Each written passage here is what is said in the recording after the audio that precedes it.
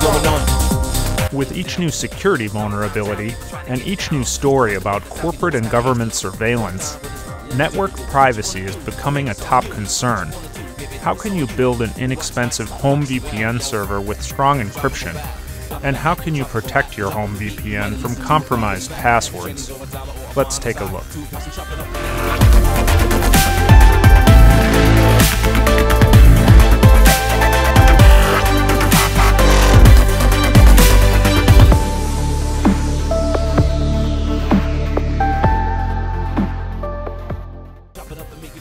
For today's build, we'll be using an Apple Mac Mini. We bought the base configuration Mac Mini on sale for 399 at Best Buy.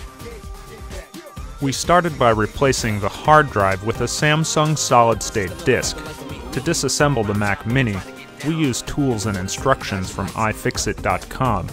Both are linked in the video description below. Replacing the hard drive was easy and took about 30 minutes. Next, we created install media on a USB stick and installed macOS. After installing macOS, we enabled trim support using the command sudo trimforce enable.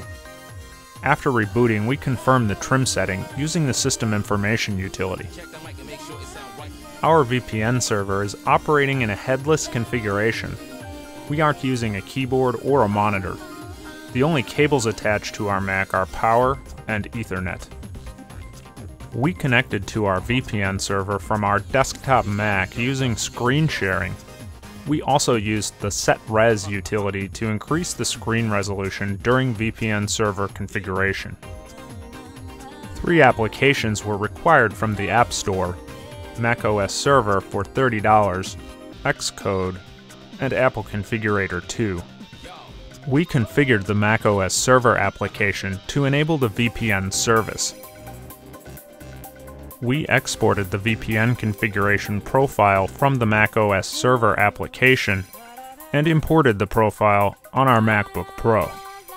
Our profile modifications included changing the name, setting the server name to match our public DNS entry, and enabling the Send All Traffic Through VPN checkbox.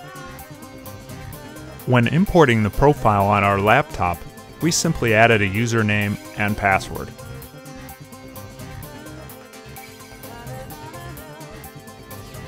Next, we configured our Red Hat Internet router to pass traffic to the VPN server. Details for this step will vary depending on your internet router. To direct traffic from our external IP to our VPN server, we added IP tables rules as shown here. We tested by tethering our MacBook Pro to our iPhone and connecting to the VPN from the outside. Next, we added multi-factor authentication to protect against compromised passwords.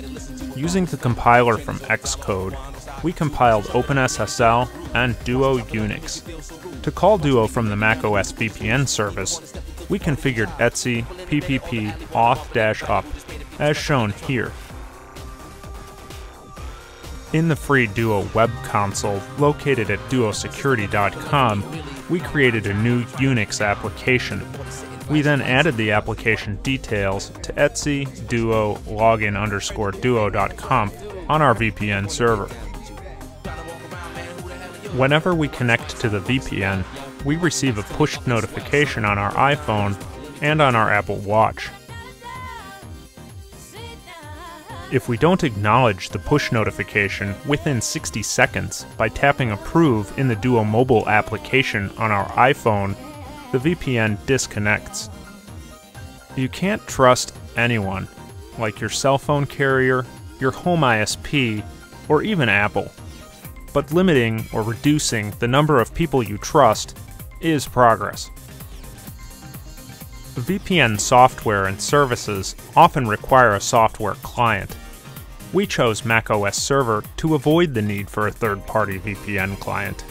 For us, using the built in client software that already comes with macOS and with iOS is greatly preferred. As a small VPN server, the Mac Mini's performance is excellent. Top shows less than 4 gigabytes of memory being utilized, connections complete instantaneously, and there's no artificial limit to the number of concurrent VPN connections or to the total number of client devices. This video shows an appropriate configuration for a home network. For business use, a captive portal implementation is far more scalable.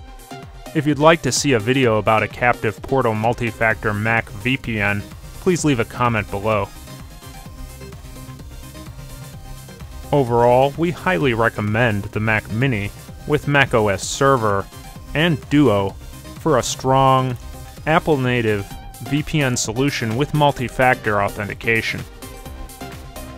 Stay tuned for more videos coming soon, where we'll be reviewing the Nintendo Switch Mega Bundle, cheap portable Linux servers, the Dell PowerEdge T30 server, the Eve light switch for Apple HomeKit, the Klipsch R20B soundbar, a new Kaby Lake Hackintosh, the 43 inch LG 43UD78B computer monitor, the Apple external GPU enclosure, and Belkin's new Thunderbolt 3 dock. Thanks for watching. If you enjoyed this video, please like or subscribe and leave comments below. Also, consider getting subscribed to our new music channel, Geekster Robot. And so long, until next time.